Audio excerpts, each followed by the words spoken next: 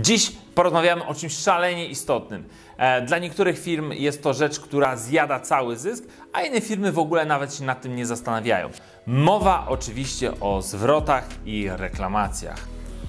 A właśnie, zapomniałbym. Nie wiem, czy wiesz, ale prawie 90% osób, które ogląda moje materiały, nie subskrybuje kanału, czyli nie dostanie powiadomienia o nowych materiałach. Więc jeżeli Ci się podoba i chcesz być na bieżąco z materiałami, to po pierwsze, zasubskrybuj mój kanał, no i po drugie, ustaw dzwoneczek. A jeżeli ten materiał Ci się spodobał, oglądałeś do końca, to zostaw mi lajka. Dzięki. Jednym z najczęstszych pytań, które mi zadajecie, e, to jest właśnie co z zwrotami i reklamacjami. Kto jest za to odpowiedzialny? Ja, hurtownia z Polski, którą e, e, współpracuję, czy może AliExpress e, w momencie, kiedy robimy dropshipping z AliExpressu. Więc temat naprawdę szalenie ważny. Ja aż tutaj musiałem sobie zapisać te wszystkie rzeczy, żeby o wszystkim Ci opowiedzieć. Więc w polskim prawie jest tak, jeżeli klient indywidualny kupuje przez e, internet, no to ma 14-dniowe prawo odstąpienia od umowy, nie podając żadnego tam powodu. E, oczywiście są wyłączenia, ale ja o tym nie będę e, mówił. Na przykład e, warto wspomnieć, że jeżeli ktoś zamawia coś takiego indywidualnego, na przykład koszulka z napisem, no to wtedy tego prawa nie ma, ale to musimy wszystko zrobić w regulaminie. Dobra, przejdźmy teraz do najważniejszego, najważniejszego elementu. Żeby nie mieć, nie mieć zwrotów i reklamacji, jest bardzo prosta rzecz. Wybrać idealny produkt. Czyli taki, który e, każdemu się będzie podobał i, nie będzie się psuł. No jest to prosta rzecz. Natomiast z tego, co zauważyłem, to dużo osób, których, e, które działają e, w dropshippingu, to na przykład sprzedaje produkty, które na oczy w życiu nie widziała. Więc to jest moim zdaniem błąd. Zawsze powinniśmy zobaczyć ten przedmiot, który sprzedajemy, nawet jeżeli to jest drop e, z Chin. Są takie branże, gdzie tych zwrotów jest bardzo dużo, e, czy wymian towaru, e, na przykład branża obuwie kobiece.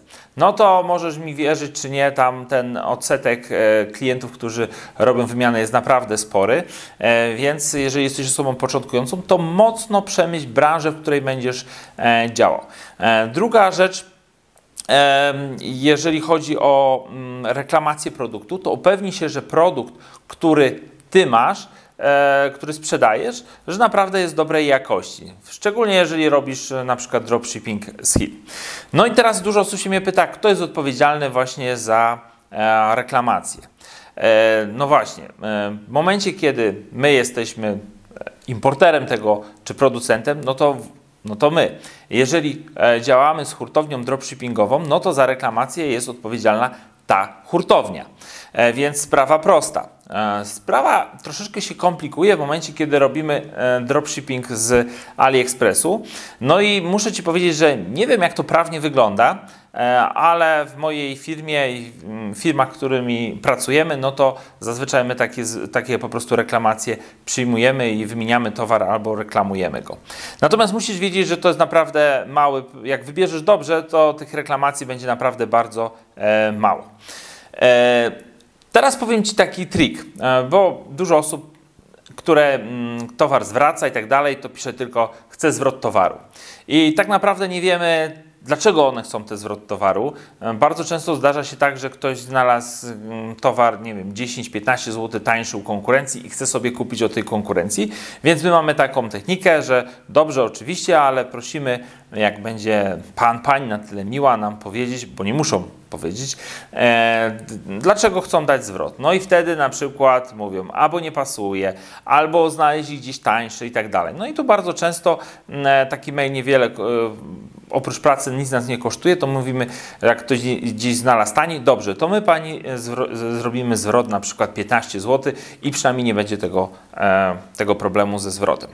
E, Kolejna rzecz, żeby nie dostawać zwrotów, to jest bardzo dobry opis, taki opis techniczny. Czy jeżeli sprzedajesz na przykład leginsy kobiece, e, no to, to podaj dokładne wymiary w talii, nogawki, od środka do środka, no praktycznie wszystko, co, co, mm, co musi tam być. Jeżeli sprzedajesz jakieś mm, e, nie wiem, szafki czy coś w tym stylu, to pamiętaj, żeby podać dokładnie co do centymetra, no bo wyślemy towar, nie zgodny z opisem, no to i klient się zdenerwuje, no i my będziemy musieli ponieść e, tego koszt.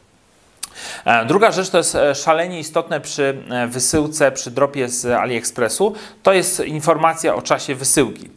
Jest spora grupa biznesmenów, którzy no, nie informują o tym. No i ten towar, jak ktoś się spodziewa, o, kupiłem w poniedziałek, przyjdzie na pewno do mnie we wtorek, przyjdzie na pewno w środę, a później się okazuje, że towar dochodzi po pół roku, no to jest problem. Więc e, e, w takim miejscu widocznym poinformuj, e, jaki jest czas wysyłki. Ja wiem dokładnie, że to ma, to jest związane z jakby z konwersją, tak? Czyli jak umieścimy taką informację, że słuchaj, u nas czas wysyłki 60 dni, no to konwersja spadnie, ale ale moim zdaniem lepiej tak, niż mieć później setkę niezadowolonych klientów. E, I jeszcze, jeżeli masz długi czas wysyłki, czyli na przykład towar na zamówienie, masz w hurtowni, pobierasz ten towar i chcesz go wysłać i tak dalej, albo robisz dropshipping z AliExpressu e, czy z Chin, to informuj klienta na bieżąco. Na przykład w poniedziałek wyślij mu Twoja, twoja, zleciliśmy Twoją paczkę do pakowania. W środę wyślemy, Twoja paczka została spakowana piątek wyślesz, no prawie przygotowana do wysyłki. No i, i na przykład następny poniedziałek piszesz, już definitywnie jest w drodze, ale musi przelecieć kilkanaście, kilka tysięcy kilometrów do ciebie. Więc proste rzeczy, ale jak klient będzie dostawał taką informację, to, nie, to po prostu będzie wiedział, że ta paczka do niego idzie, że to nie jest oszustwo. Bo musimy pamiętać, że jest no niestety dużo sklepów, które no, oszukują gdzieś tam w internecie.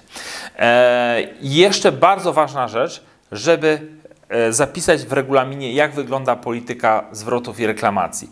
Bo jeżeli tego nie zrobimy, albo zrobimy byle jak, to nas się, e, do nas się przyczepi, brzydko mówiąc, później nas postraszy sądem, powie, że tutaj e, to jest niezgodne z regulaminem i tak dalej, i tak dalej. Więc jeżeli Twoja sprzedaż się rozkręca, to naprawdę warto zainwestować w prawnika, który albo firmę, która zajmuje się takimi regulaminami i przygotuje nam to od A do Z. No dobra, tyle jeżeli chodzi o takie słowo wstępu, a dopiero się rozgrzewam. No to teraz porozmawiajmy o tym, e, o takiej sytuacji, kiedy e, działamy w modelu dropshippingowym i wysyłka jest z polskiej hurtowni.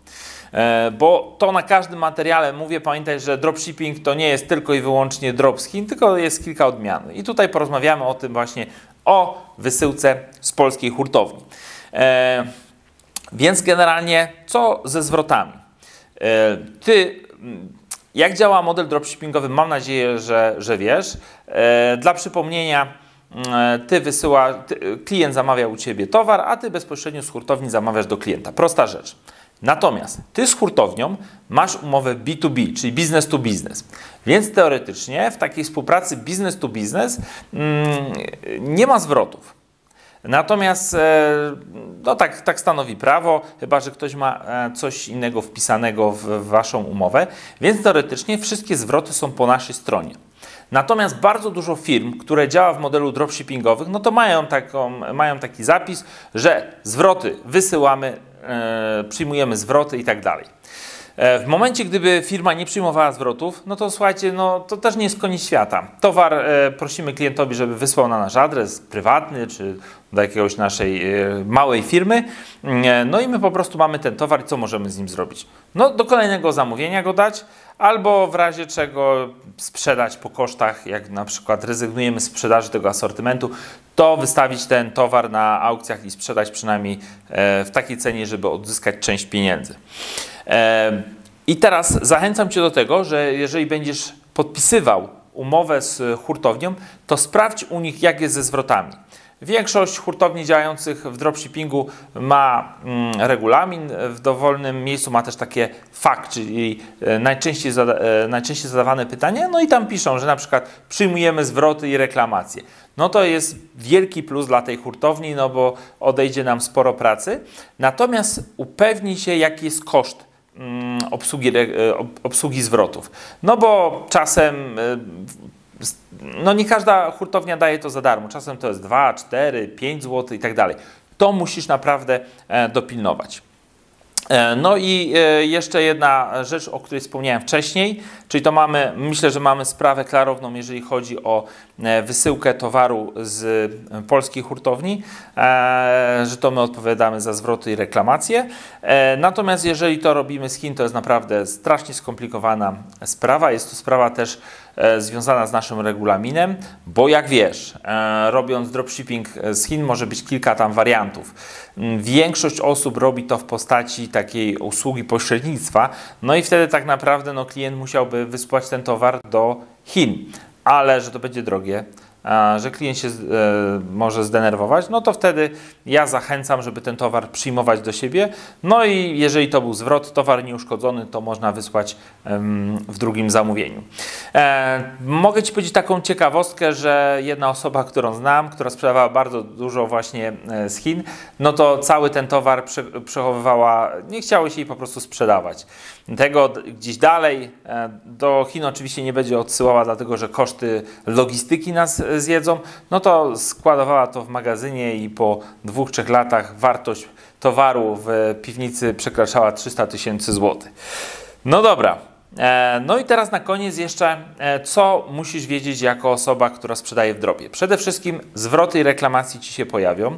E, Towar, branża, którą wybierzesz, jest, będzie wpływała na liczbę zwrotów. Natomiast zachęcam Cię do mm, wliczenia sobie tych zwrotów, żeby to wszystko, jak tworzysz cenę produktu, którego sprzedajesz, żebyś też wliczył sobie zwroty tego towaru. E, Ja mam taki kalkulator, taki bardzo prosty, jest to po prostu plik w Excelu, gdzie tam koszty pozyskania klienta, prowizja, no i, no i kalkuluję sobie, że około 5% będzie zwrotów. Oczywiście są branże, gdzie to będzie mniej, a są branże, gdzie no, będzie 5 czy nawet 10% zwrotów, jeżeli coś jeżeli na przykład, nie wiem, będziesz sprzedawał buty z Chin, gdzie nie, jeszcze nie zmienisz e, numeracji e, obuwia, więc to wtedy może stanowić e, ogromny problem. Także wkalkuluj te zwroty, nie za bardzo się nimi przejmuj na początku. E, no i pamiętaj, że e, liczba zwrotów jest mocno uzależniona od branży i od produktu, który wybierzesz. Więc moja porada z początku tego filmu, jeżeli zamierzasz jakiś towar sprzedawać, to na, na początek zamów sobie próbkę i zobacz, jak ten produkt wygląda. Ja muszę Ci przyznać, że w- zeszłym roku no, tak e, koło dwóch, trzech produktów nie widziałem ich przed sprzedażą. Dlatego, że uwierz mi, bardzo często są takie no, problemy z tymi towarami, że wydaje się, że jest fajny, ma wysoką ocenę i nagle przychodzi do Ciebie troszeczkę podróbka tego towaru i widzisz, że po prostu w rękach się rozlatuje. E, Także skalkuluj cenę zwrotów i reklamacji do swojej ceny. E, No i staraj się jeszcze raz wybierać naprawdę produkty e, markowe i wysokiej jakości.